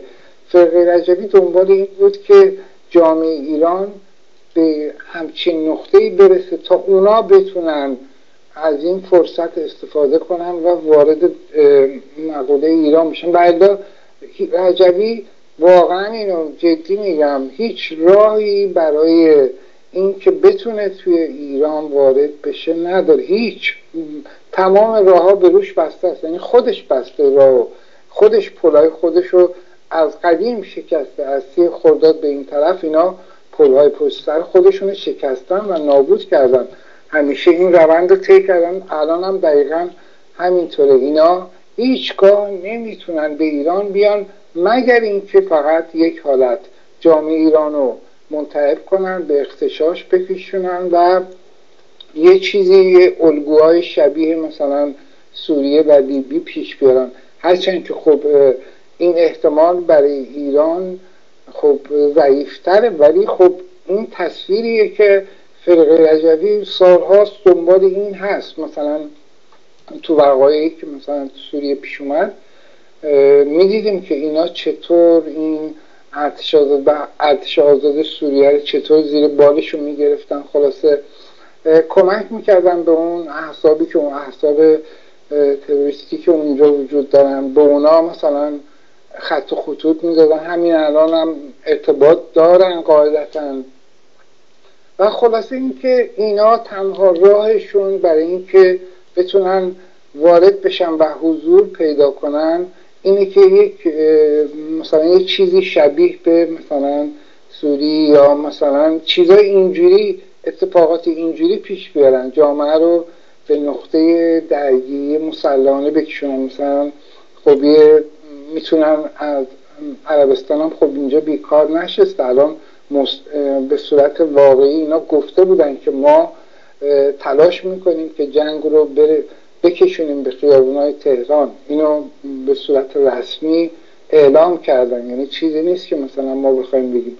خود خب اینا بالاخره مزدور دارن. اینا خیلی از این احساب کردی مثل دموکرات اینا مواجب بگیر این دستگاه هست خیلی هستن. از این دستگاه مواجب می‌گیرن تا بتونن این کارا رو انجام بدن. فرقه عجبی هم خب جزی از این است. البته نکته ای که هست اینه که خب اونا می‌دونن که فرقه رجبی تو ایران نیرو نداره. نیرو نداره پایگاه نداره و نمی‌تونه مثلا بخواد کاری انجام بده. ولی خب ازش به عنوان یک کارت و یه برگ استفاده می‌کنن و و خب به لحاظ دونستن اونا می‌دونن. حتی تو گزارش خود وزارت اطلاعات عربستان داده بود بیرون گفته بود که آقا ما می‌دونیم اینا نیرو ندارن پایگاه ندارن اینجوری هن اینجوری هن. یعنی اینا خودشون هم می‌دونن. ولی خب می‌خوان از این کارت بالاخره یک کارتیه که براشون موجوده و می‌خوان ازش استفاده کنن یعنی بخوام اگه نتیجه بگیرم این که فرقه رجوی الان خودش تو ایران هیچی نیست. یعنی اینی که میگه مثلا ارتش بخش داخل ایران اینا همش کشف و پوشاد اینا به تعداد اعداد انگشتان دست ممکنه مثلا یه تعدادی رو مثلا سرشون شیره ماریده باشن و آورده باشن مثلا یه کارایی بکنن. ولی به طور اون عام آخه آقای نظری اگر وجود داشت اونی که میاد با یه تلفن دستی یه پیامی می‌ذاره من ارتش یا اشرف بخش 1300 هستم خب اگه هستی بیا تو خیابون دیگه بله. فقط پیام فرستن کافی شما یه نکته رو گفتید خیلی جالب بود من توجه دوستان بیننده و شنونده به این به اصطلاح جلب می‌کنم که گفتید که حتی اگر رجوی زنده باشه از لحاظ فیزیکلی فیزیکی بله. ایشون از لحاظ سیاسی و سازمانی مرده است یعنی کسی که بله. با اعضای خودش 13 سال یا 15 سال هیچ دیداری نداشته هیچ گفت و شنودی نداشته این به اصطلاح یک مرده سیاسی بیش نیست بله. دوستمون نوشته که مسعود رجوی تو نشست عمومی گفت اگه برسم سر قدرت تمام دانشجوها رو دم دانشگاه ایران تیرباران می‌کنم خدا رو شکر قسمت نبود مسعود رجوی به قدرت برسه. آقای مصطفی محمدی سلام می‌کنن به شما من هم به ایشون سلام می‌کنم و دوستان دیگه هم دارن نظراتشون مینیسن آقای موسقی عزیز که مهمان برنامه ما هم بودن قبلا و ویدیوهای تمام شما دوستان روی یوتیوب هست روی بایگانی کانون آبا هست ایشون نوشته رهبری که بیش از یک ده تا پدید بیش از ناپدید شده. منظورشون همونی که من گفتم. کی و کجا بله. می‌خواهد خودش را رهبر یک جنبش معرفی کند؟ بعد رهبری که مرگ سیاسی استراتژیک و فیزیکی او اعلام شده چگونه می‌خواهد دوباره خودش را مطرح کند؟ این خیلی جالبه. دوستانی که احیانا اون فیلم السید رو دیدن یا داستانش رو شنیدن می‌دونن که در جنگای اسپانیا و اسلام و اینها اون جنازه یا مریض بودن السیدا حتی اقلا روی اسب بستن و بله میشه از پخش خبر از پخش فوت شدن یه رهبری جلوگیری کنن برای که میگن اگر این از بین رفت ممکنه سازمان از هم بپاشه. ولی دیگه 15 سال که نمیشه این رو مخفی کرد. اونجایی می‌رسه که خواستگار پیدا میشه و میگه آقا دیگه مرد خانم رجبی المرحوم رجبی مرد بیا بریم بله رو بگو. در صورت آقای نظری هستن با ما امروز دوستان ایشان از پاریس هستن اگه خواستید بعدم با خودشون و با کانون آوا می‌تونید مستقیما تماس بگیرید سوالاتتون مطرح کنید نظراتتون رو هم عنوان کنید و این دوستان هم پاسخگو بودن هم نظرات شما رو با گوش جان میشنوند. و اما ارتباط فرقه رجوی با بیگانگان. شما یکی دو بار گفتید که این اعراب و دشمنان ایران که نمیشینن بیکار اینجا نقششون پیدا میشه. ارتباط فرقه رجوی با بیگانگان رو برای ما یه مقدار توضیح بدید. بفرمایید. بله, بله، اینا خب ما بعد تو پروسه این مناسباتی که فرقه رجوی با بیگانه ها خلاصه با کشورهایی که دشمن مردم ایران هستن دشمن خاک ما هستن بعد توی پروسه این رو نگاه کنیم ببینیم چطوری مثلا رجوی این پروسه رو طی کرده. ببینید از بعد از سی خرداد اینا خب وارد جنگ مسلمانی نقطه ای که اینا تمام پلهای پشت سرشون رو شکستن و اینم خب در سر تصمیمی بود که خود مسعود رجوی گرفته بود و خلاصه این پل رو شکستن و وارد یه فاز دیگه از چیزشون شدن دگردیسیشون در حقیقت وارد یک دگردیسی شدن و اومدن فرانسه. و تو فرانسه خب آقای بنی صدر بعد از یه مدت متوجه میشه که اینا ارتباط دارن با عراقی ها یعنی با طارق عزیز که بعد بنی متوجه میشه و بهشون میگه که به خود مسعود رجبی میگه که آقا نرو چون ما با شما وقتی وارد شورای ملی مقاومت شدیم بر اساس استقلال بر پای استقلال معاهده بستیم. اگر شما وارد یه مسیر دیگه بشید همه چی باطل میشه.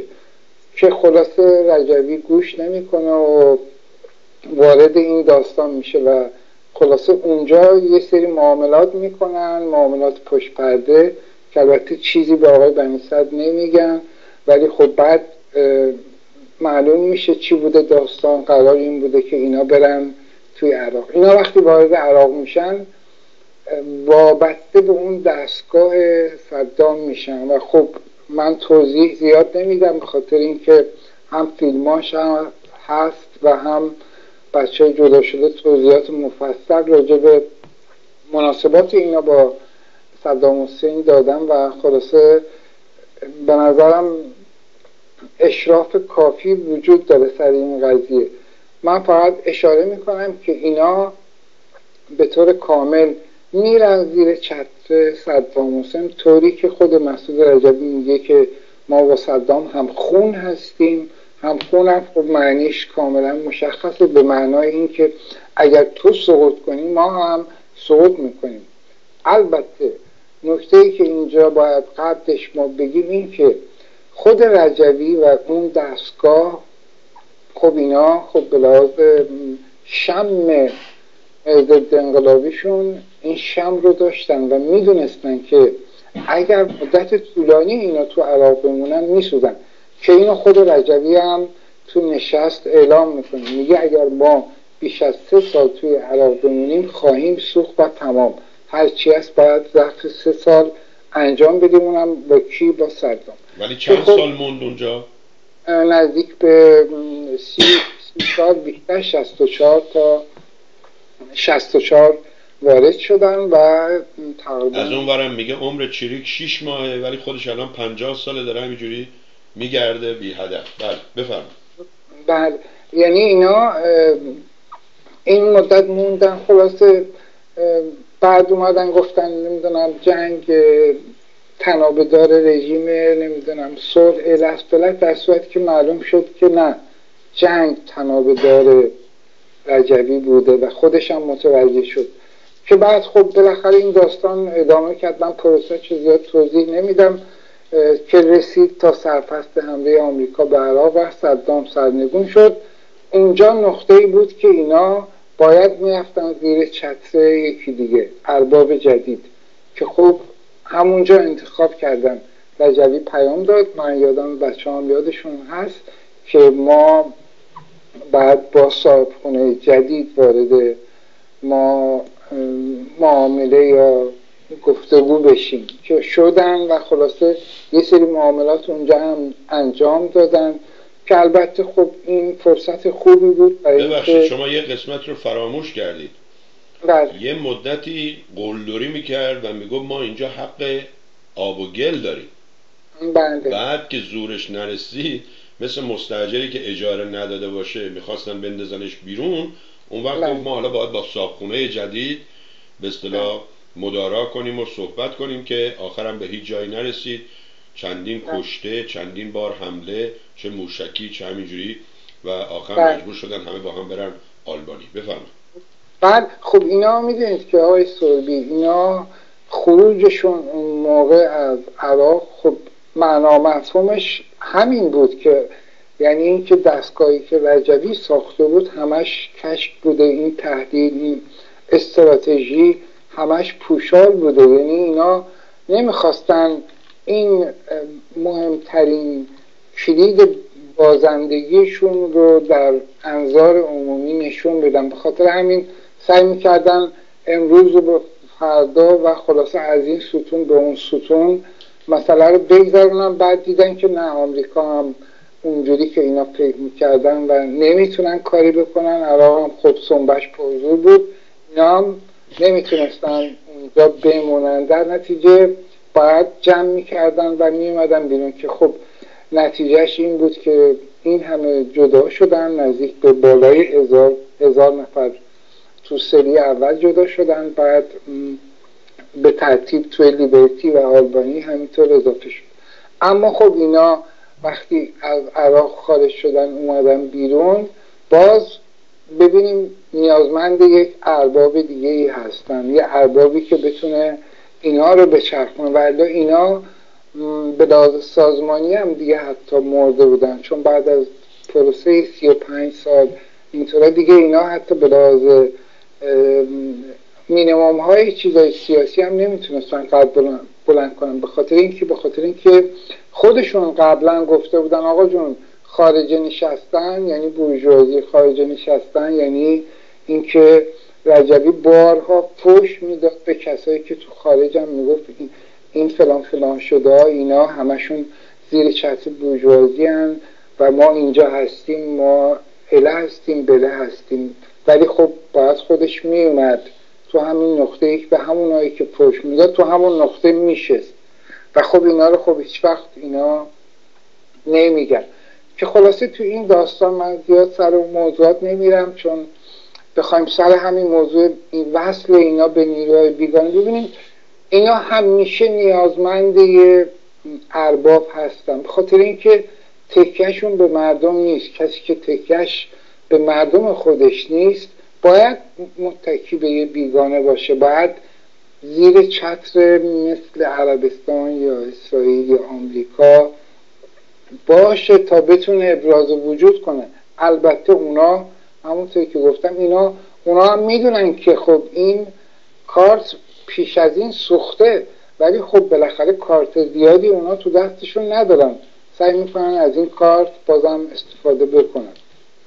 آقای نظری اجازه بدید دوست خوبمون آقای مهدی زلفقاری تماس گرفتن و ایشون چون هم فعال سیاسی هستن هم برنامه گذار رادیو تلویزیون نظری که نوشتم من بخونم و من نه. جواب خودم رو میدم شما هم جواب ایشون رو ایشون نوشتن که آقای سروی عزیز خود شما می‌دانید که من حتی در زمان قبل از انقلاب مخالف مجاهدین بودم ولی اگر کسی در حال حاضر با آنها انتقاد دارد از خودشان شروع کنند نه اینکه مثل جمهوری اسلامی آنها را به عربستان و یا اسرائیل منتصب کنند آقای مهدی زلفقاری دوست عزیز من همیشه در برنامه هم گفتم که شما هم آدم منصفی هستید هم به اصطلاح منطقی هستید.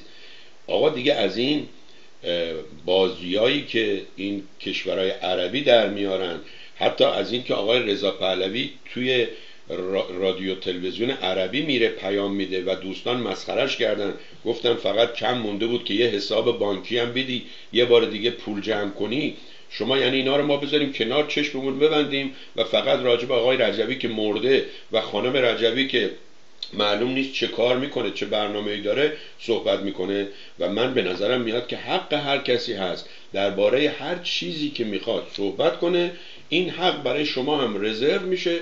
که شما بیاین فقط و فقط و فقط از سازمان انتقاد کنید یا فقط و فقط و فقط از سازمان دفاع کنید حتی روپوش بذارید یا سرپوش بذارید روی ماجرای کمک های عربستان سعودی کمک های اردن کمک های کشورهای دیگه که من و شما احتمالا خبر نداریم به این سازمان. اونم چه سازمانی؟ سازمانی که با چوب جارو باید رژه بره. من واقعا امیدوارم بله این ایمیل و اینای خودتونه. و امیدوارم که شما در این باره زنگ بزنید پیام بذارید صحبت کنید. دوست عزیز نظر شما آقای نظری درباره این نظر دوستون آقای مهدی زلفقاری چیه که شما عربستان و اینا آمریکا و اینا رو ول کن فقط از خود سازمان انتقاد کن. نظرتون در این مورد چیه؟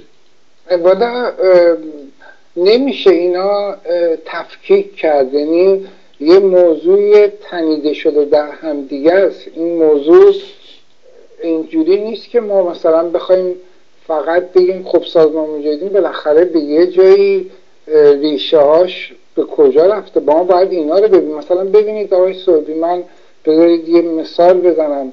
ببینید همین مثلا بچههایی که جدا شدن مثلا آقای موثقی آقای جواد فیروزمند بچههایی که از این دستگاه جدا شدن.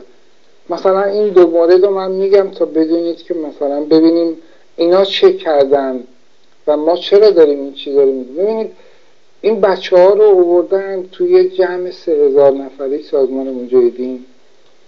بهشون گفتم باید توف کنید سر این بچه ها روی مثلا آقای موستقی و آقای فیروزمن یعنی سه هزار نفر حساب کنید اینطوری دو نفر سه نفر اینجوری له می‌کنن و از بینشون می‌برن توی اون جمعی که خب این فرقش با سنگ سنگسار و اینا چیه؟ یعنی ما بالاخره داریم یه سری چیزایی رو میگیم که بالاخره در ارتباط با همدیگه است یعنی مثلا نمی‌تونیم مثلا وقتی میگیم که سازمان مجاهدین یا فرقه رجبی مثلا از صدام پول می‌گرفت یا اینجوری مثلا این کارا رو می‌کرد بعد ریشه هاشو بگیم بگیم خب این این فیلمش هست. ما اگر مثلا اشتباه می‌کنیم خب به این فیلمش رو ببینیم. چون اینا مدعی هستن که ما مستقلیم. مدعی که ما تکیهمون به مردم ما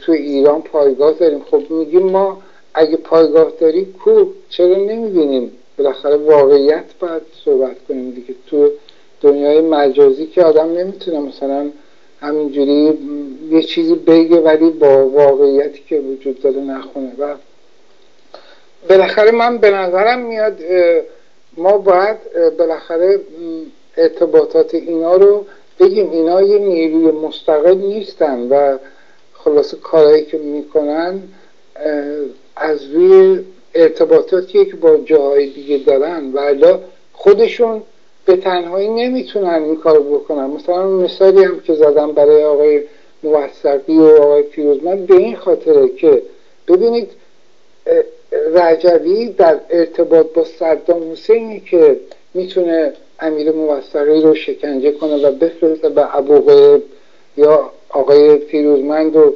شکنجه کنه سنگ بارون چی میگن سنگسارشون در حقیقت بکنه و بعد بفرستنشون به ابو یعنی خب بالاخره این ابو غریب کیه با در ارتباط با فرقه رجبی یعنی بالاخره اینا دارن از یه پشتوانه استفاده کردن این کارا رو کردن. و رجبی که خودش به تنهایی نمی‌تونه این کارا رو بکنه و از اون پشتوانه استفاده کرده.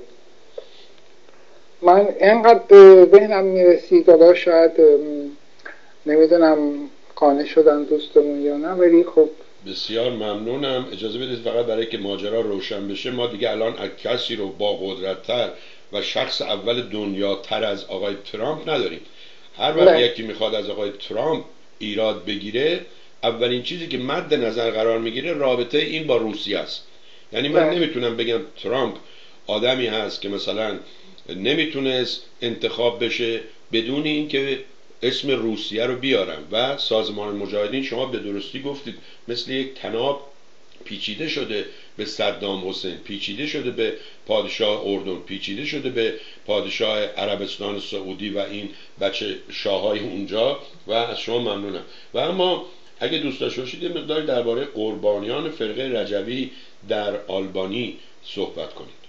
بعد من قبلش فقط یه نکته رو راجبه مثلا همین دوران اشرف بگم که مثلا اینا چطوری مثلا بچههایی که خب با جون دل می خلاصه اشتیاق داشتن. مثل ما مثلا ما خب تو زندگی چیزی نداشتیم جز این که اشتیاق داشتیم که خب برای جامعهمون عدالت وجود داشته باشه آزادی وجود داشته باشه. و ما هیچ کدوم از ماها دنبال جنگ و خونریزی نبودیم و من خودم شخصا هیچ وقت اصلا به این چیزها اهمیت نمی‌دادم. می‌گفتم من برای عدالت و آزادی توی جامعه اومدم. نمی‌خوام برم خونریزی بشه و خلاصه اینجوری فکر نمی‌کردم هیچ وقت. توی اونجا که بودیم خب رجبی مثلا بچه ها رو می همین بچه هایی که مثلا خب می بعد از یه مدت متوجه می شدن که خب سرشون کلا رفته. اینجا جایی نیست که اونا می‌خواستن. می‌خواستن جداشن بعد فرقه رجایی مثلا چیکار می‌کرد؟ می‌گفت آقا جون تو اگه می‌خوای خارج بشی دو سال بعد بری زندان ما تو اشرف بعد هشت سال میری زندان ابو غریب به چه جرمی؟ به جرم ورود غیرقانونی به عراق. در صورتی که خودش آورده بود. خودش قاچاقی آورده بود. عراق یعنی هیچ کدوم از بچههایی که مثلا وارد عراق شدن به صورت رسمی وارد نشدن. توسط خود سازمان قاچاق وارد شدن. حالا این چیکار می‌کرد؟ تحویل می‌داد به عراق به جرم ورود غیرقانونی به عراق. بعد اون خب صدام هم خب با این یکی بودن دیگه. بعد اونم می‌گرفت هشت سال نگرش داشت. بعدش هم بعد از هشت سال اگه زنده میموند تحویل می‌داد به ایران. خب بالاخره اون بچههایی که اونجا هستن الان تو آلبانی اینا الان بالاخره کم و بیش داستان های فرقه رجبی رو می‌دونن. هرچند که خب خیلی چیزا هست هنوز سربسته است تو سازمان به خاطر اینکه این دستگاه انقدر به لحاظ پیچیدگی پیشرفته بود چیکار می‌کرد؟ سعی می‌کرد هیچ کس از کسی دیگه خبر نداشته باشه. این یکان از یک یکان دیگه نمی‌خواستن بدونن چی میگذره. خلاصه بیخبر میگردن. خب طبیعتا خب بعضیا بیخبر بودن ولی خب بالاخره یه جورایی خبرها بهشون می‌رسید. بالاخره اینا این پروسه رو طی کردن اومدن توی لیبرتی از لیبرتی اومدن تو آلبانی. تو آلبانی خیلی از اینا جدا شدن دوباره. حتی نفراتی که خب تو دستگاه اینا جزء فرمانده هاشون بودن از این دستگاه جدا شدن. و همین الان هم من مطمئنم بالای 80 درصد این دستگاه متناقضه. حتی تو لایه های بالا. یعنی شاید مثلا تو لایه های فرماندهیشون دیگه اونایی که تو بالا با این دستگاه یک پارچه هم ولی تو پایین تر دیگه این دستگاه متلاشی شده از همه منتظرن امروز و فردا می‌کنن تا ببینن راهی پیدا بشه. این پیامایی هم که میدن ما آلترناتیویم نمی‌دونم ما چی هستیم و چی نیستیم اینم به خاطر یه بخشش به خاطر این بیچاره که اونجا گیر افتادن و راهی ندارن که به بیرون باز کنن. و اینطوری اینا رو سرشون گرم می‌کنن خلاص تعهد می‌گیرن و خلاصه به شیوه قرون وسطا سعی می‌کنن این بچه ها رو اون تو نگرشون دارن. من بینم شاید فرصت هست. فرصت هست. بله.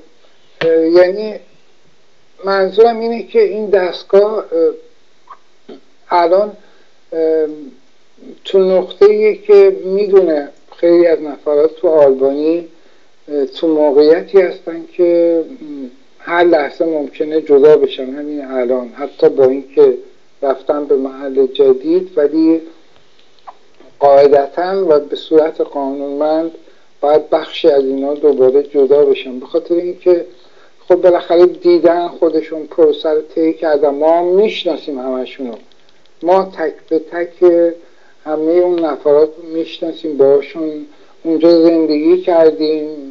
خصوصیات همدیگر رو می‌دونیم اخلاق همدیگر رو می‌دونیم. خلاصه می‌دونیم که خلاصه چی بده چی خوبه همه به نوعی منتها دیگه درجه جسارت هر کس متفاوت برای جدا شدن. بعضیا هنوز که هنوز فکر می‌کنن مثلا یه دوران خیلی قدیمی بیان چشمشون رو باز کنن نگاه کنن ببینن چه تغییراتی تو جامعه تو دنیا شده؟ ما مثلا خب الان نزدیک به چهارده سال جدا شدیم. ما آقای رزاقی دیگه تعداد زیادی از بچه ها به محض اینکه صدام سرنگون شد از این دستگاه جدا شدیم. و خب انتظارم این هست که این بچه ها خب توی پروسه جدا بشن. ولی خب میگم درجه جسارت انتخاب برای خروج از این فرقه یکم برای اونا شاید سخت باشه. البته سخت نیست. خودشون طوری این دستگاه این سیستم روی مغز اونا کار کرده که اگر مثلا جدا بشید نمی‌دونم سوسک میشید فلان میشید اینجوری ترسوندن ملت رو به خاطر اینکه جدا نشن این دستگاه. بعد از اون برم میان چیزهای تقویتی مثلا وارد می‌کنن. مثلا میگن ما آلترناتیویم الان نگاه کنید ببینید مثلا قیام شده. ما آلترناتیویم فردا میریم ایران. نمی‌دونم کی وزیره کی وکیله نمی‌دونم.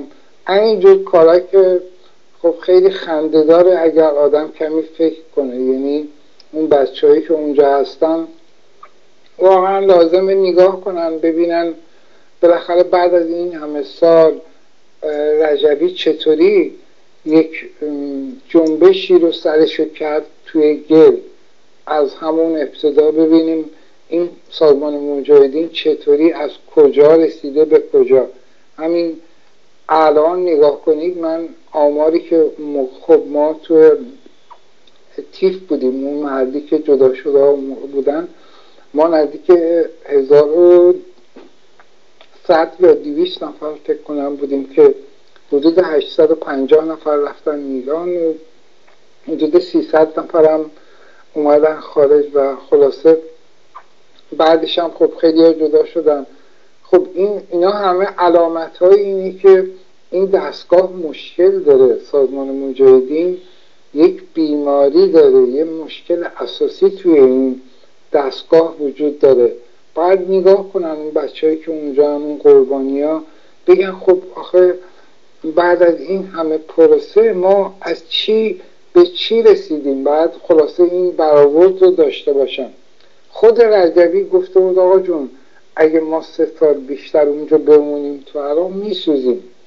خب این هم حالا در نظر نگیریم. بعدش ببینیم خب اینا چی کار کردن. الان خب ماکسیموم کاری که اینا می‌کنن میشینن پشت اینترنت تو دنیای مجازی مثلا با صد تا آیدی پنجاه تا آیدی مختلف مثلا شروع می‌کنن به مثلا تبلیغات غیر واقعی یعنی به طور بدون اینکه اسم سازمان بیارن چون خودشون هم می‌دونن. آقای لزاوی هم توضیح داد که اینا انقدر تو جامعه به بدنامی اسمشون بد شده که نمی‌تونن به اسم سازمان مجاهدین وارد بشن. میان با اسمای مختلف نمی‌دونم با این اسامی وارد میشن. خلاصه تا یه طوری هم سرگرمی برای اون بچههایی که اونجا هستن برای اونا ایجاد کنن. اسمش هم می‌ذارن مبارزه. آخه این چه مبارزه؟ اینا همیشه در حقیقت مشکل برای جامعه ایران بودن. حتی از من گفتم از سی خورداد که نگاه کنیم می‌بینیم اینا این مشکل رو به جامعه ایران تحمیل کردن که جامعه ایران رو تبدیل کردن به یک فضای نظامی. یعنی جامعه که می‌تونست سیاسی باشه و مدنی کاراشو پیش ببره تبدیل کردن به یک جامعه نظامی که خب توش سلاح حرف می‌زنه. نه منطق و کلام و صحبت و اعتراض و چیزای اینجوری. بعدش هم چند تا نکته هم هست راجبه مثلا خب آقای رزدارم به نوعی اشاره کردن سر مثلا یه سری شارلاتان های سیاسی که مثلا نگاه می‌کنن به جامعه ایران می‌بینن. خب جامعه ملتحب اینا هم مثلا یکی مثلا دلغک استارت مثل حسینی که خب اینا قطعا مواجب بگیر همون دستگاه سعودی و بولتون و اینا هستن ولی خب اگه کسی مواجب بگیر نباشه نمیاد اینطوری مثلا مردم بیچاره مثلا اون جوون مثلا 20 ساله که خب هنوز گرما سرمای روزگار رو نچشیده بیاد بهش مثلا بگه که برو مثلا فلانجا رو آتیش بزن فلانی رو بزن بکش یعنی اینا خب یه سری شارلاتانایی هستن که تو این بحبوه سر در میارن و خب باعث بیچارگی و بدبختی یه تعدادی از مردم هم قطعا میشن.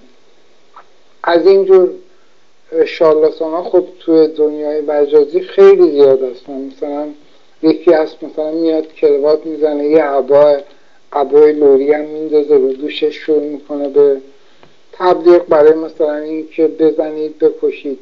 نگاه کنید همه اونایی که توی رنج شارلاتان هستن تمامشون سمت و سوی شعراشون یکیه. اگه ما توجه کنیم فرقه رجوی با مثلا حسینی شارلاتان اینا ببینیم پیاماشون هیچ فرقی با هم نداره. یعنی اینا در محتوای حرفاشون عین همه. هر دو میگن بزنید بکشید آتیش بزنید. یعنی خب اون شارلاتان این حسینی خب چیز نداره سیستم نداره. به صورت فردی مثلا این کارو می‌کنه. قطعا این فرد مواجب بگیره یه دستگاهی. حالا خب خدا می‌دونه از کدوم از عربا می‌گیره یا از آمریکایی ها می‌گیره یا از اون یکی ها می‌گیره. یعنی ولی خب اون چه که مسلمه مردم هم خب اونقدر مثل قدیم نیستن که مثلا